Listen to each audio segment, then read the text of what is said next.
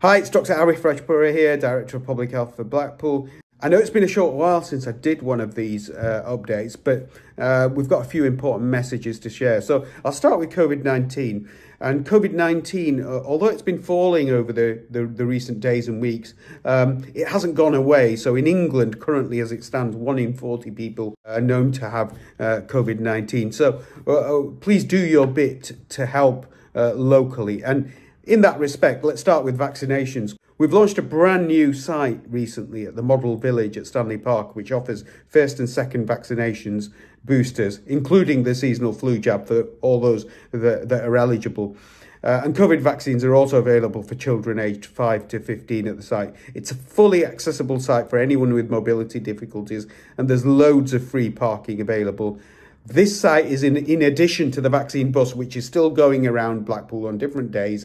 Our evergreen offer still stands. So it doesn't matter if you haven't had your COVID first jab yet, but want to get it. That's what this service is here for. So you can either go to the uh, the Model Village site or you can go to the vaccine van. Over 50,000 local people have used the mobile vaccination clinic since uh, since it launched. Our friendly teams are here to help, and we've had some absolutely great feedback uh, about how easy people have found it. Please take a little time to read the latest info, including upcoming dates, vaccine eligibility, and more linked in the supporting post uh, to this video. So, in doing our bit to prevent the spread of, viruses this winter, as well as being vaccinated, there's other important uh, things we can all do to reduce the spread of COVID and other winter winter viruses and bugs here in Blackpool. So think about using a face covering, particularly where it's busy and you're indoors.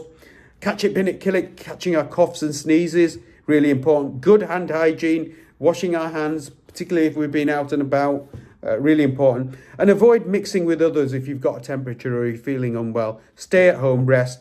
There's a, there's a lot going on in the public health department at the moment. Just a few things to, to, to share with you. Um, Get Vocal is our mental health campaign that we're doing in collaboration with Blackpool Football Club.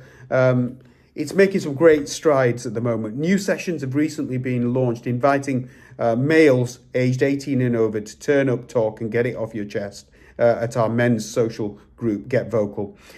This takes place every Monday between 6 and 8 pm. Brett and Dan will be in the North Stand uh, Community Hub at Blackpool Football Club to host, talk, and listen. Pop along for a brew and, uh, and a chat. We've linked everything you need to know about Get Vocal in the supporting post. There's lots of useful tools and links for people of all ages.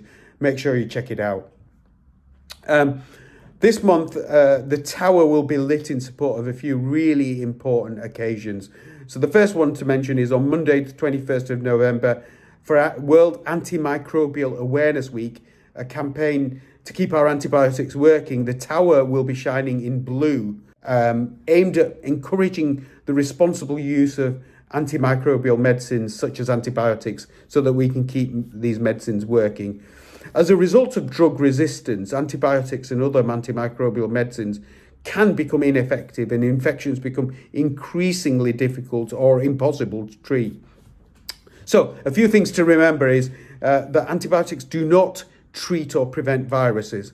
Research has shown that only 10% of sore throats benefit from antibiotic treatment. So it's really important to talk to your pharmacist about how to treat your symptoms first before going to the GP uh, for antibiotics. It's vital we prevent antibiotics from getting into the environment as well.